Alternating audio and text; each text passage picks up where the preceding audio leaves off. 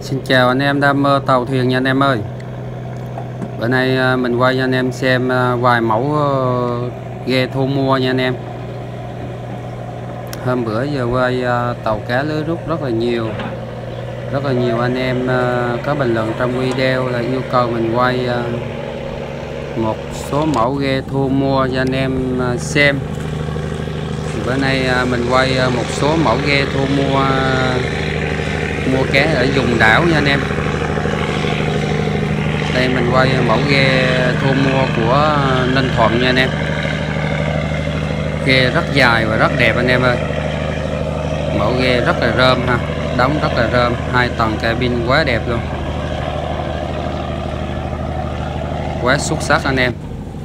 Nói chung là mình đi ờ, làm ở trên biển, cả tháng trời trên biển là ghe tàu thì mình gặp nhiều lắm nha anh em.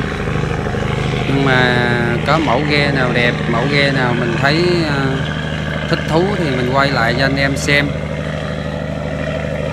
Gọi là một cái kênh để anh em ờ, vô vừa xem tàu thuyền mà vừa hiểu thêm một tí xíu về biển rẻ nha anh em. Nói chung là mình biết cái gì mình quay cho anh em xem, mình nói trong video cho anh em nghe. Còn anh em ờ, biết những cái thông tin gì đó là bình luận ờ, bên dưới video để cho mình ờ, cập nhật thêm cái thông tin và ý kiến của anh em nha anh em ơi đây cũng là một à, mẫu ghe thu mua của à, Ninh Thuận luôn anh em. Chiếc này thì mình à, rất là ít gặp ha.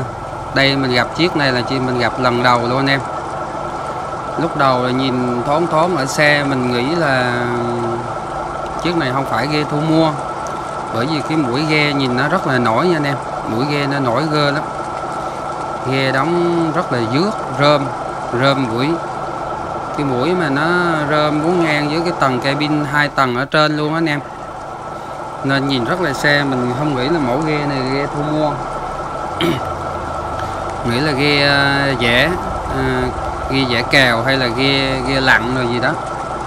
Nhưng mà khi lại gần thì mới mới biết là ghe này ghe thu mua của Ninh Thuận anh em. Ghe rất là rơm sơn, cái màu à, xém đen nhìn rất là ngầu nha anh em. Nãy là mình quay cái mẫu ghe à, quay cái mẫu ghe à, màu xanh, nhìn rất là thanh và rất là đẹp. Còn mẫu ghe này nhìn quá ư là ngầu luôn anh em ơi. Cái màu xanh cái màu xém đen này nè anh em. Màu này thì khoảng bốn uh, năm năm trước thì cái màu này nó rất là thịnh.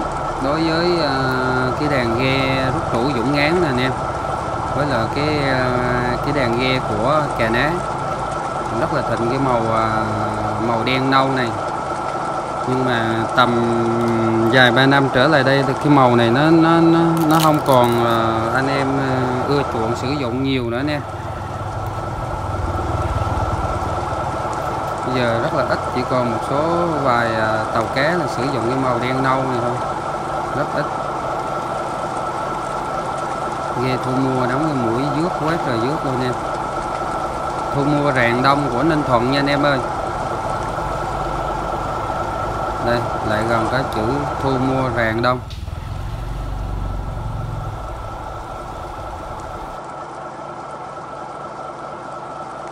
À, quay hoài mẫu ghe thu mua đẹp đẹp cho anh em xem.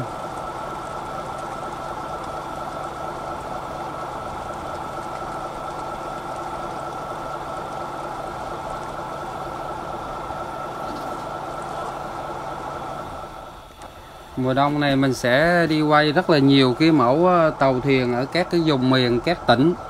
Anh em nhớ vào ờ, bấm ờ, đăng ký kênh. À, đã theo dõi những cái video sắp tới mình sẽ ra nha anh em. Và anh em có ừ, yêu cầu mình quay mẫu ghe ở vùng nào thì mình sẽ tới à, tỉnh đó và quay à, cuộc sống và mẫu tàu ghe ở cái vùng đó cho anh em xem luôn nha anh em ơi.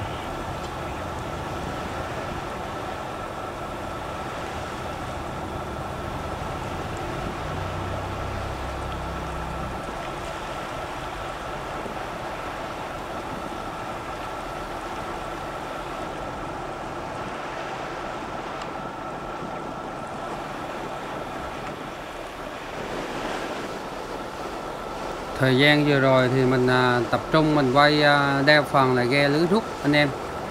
À, nhưng mà anh em à, trong kênh thì yêu cầu cũng rất là nhiều. Cũng à, muốn là mình quay à, thêm một vài mẫu ghe thu mua và giải cào.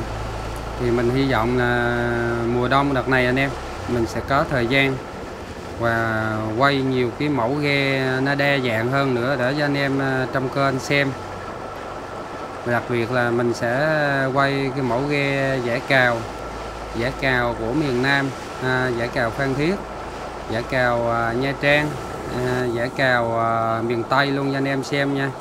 Giải cào à, Vũng Tàu nè Bến Tre nè à, Kiên Giang nè